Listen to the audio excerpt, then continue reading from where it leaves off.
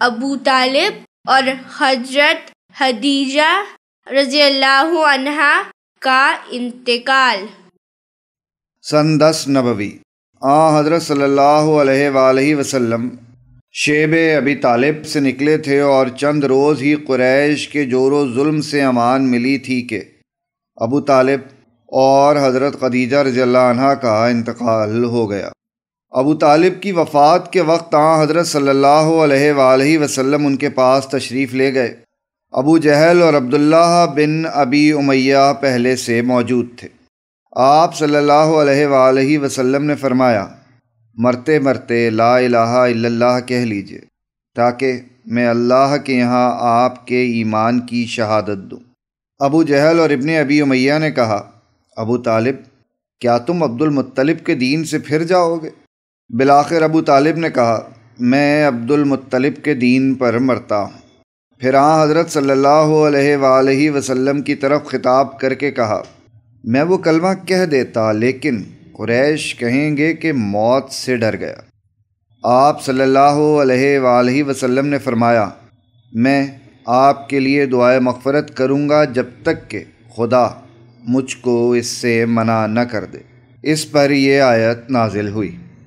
ما كان للنبي والذين آمنوا أن يستغفروا للمشركين ولو كانوا أولي قربا ولو كانوا أولي قربا من بعد ما تبين لهم أنهم أصحاب الجحيم.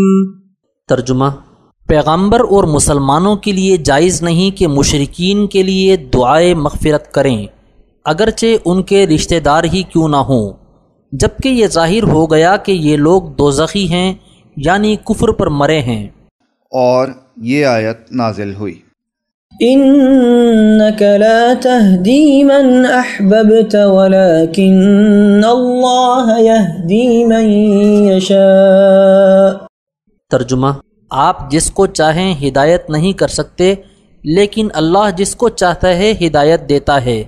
حضرت علی کرم اللہ وجہ سے مروی ہے کہ جب ابو طالب دنیا سے چلے گئے تو میں نے رسول اللہ صلی اللہ علیہ وآلہ وسلم سے عرض کیا کہ، یا رسول اللہ صلی اللہ علیہ وآلہ وسلم، آپ کا گمراہ چچا انتقال کر گیا۔ آپ صلی اللہ علیہ وآلہ وسلم نے فرمایا، جاؤ دفن کراؤ۔ حضرت علی کرم اللہ وجہ فرماتے ہیں میں نے عرض کیا وہ تو مشرق مرا ہے۔ آپ صلی اللہ علیہ وآلہ وسلم نے فرمایا ہاں دفن کراؤ۔ ایک روایت میں ہے کہ جب حضرت علی رضی اللہ عنہ ابو طالب کے دفن سے فارغ ہو کر آن حضرت صلی اللہ علیہ وآلہ وسلم کی خدمت میں حاضر ہوئے تو آپ صلی اللہ علیہ وآلہ وسلم نے ارشاد فرمایا اغتسل۔ غسل کر لو۔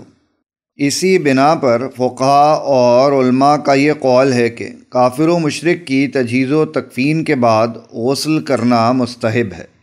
حافظ طور بشتی رحمۃ اللہ علیہ فرماتے ہیں کہ اسی حدیث سے ائمہ کرام اور خصوصاً امام ابو حنیفہ رحمۃ اللہ علیہ اور امام شافعی رحمۃ اللہ علیہ نے دفن کافر کے جواز پر استدلال کیا ہے۔ نیز اس مسئلے پر استدلال کیا ہے کہ مسلمان کافر کا وارث نہیں ہوتا، اس لیے کہ ابو طالب کے چار بیٹے تھے، طالب، عقیل، جعفر رضی اللہ عنہ، علی رضی اللہ عنہ۔ ابو طالب کی میراث فقط طالب اور عقیل کو ملی جو باپ کے طریقے پر تھے اور علی اور جعفر کو نہیں ملی کہ یہ دونوں مسلمان تھے۔ ابو طالب کی وفات کے چند ہی روز بعد حضرت خدیجہ رضی اللہ عنہ نے بھی وفات پائی۔ بعض روایتوں میں ہے کہ انہوں نے ابو طالب سے پہلے انتقال کیا۔ اب آپ صلی اللہ علیہ وآلہ وسلم کے مددگار اور غم گسار دونوں دنیا سے چلے گئے۔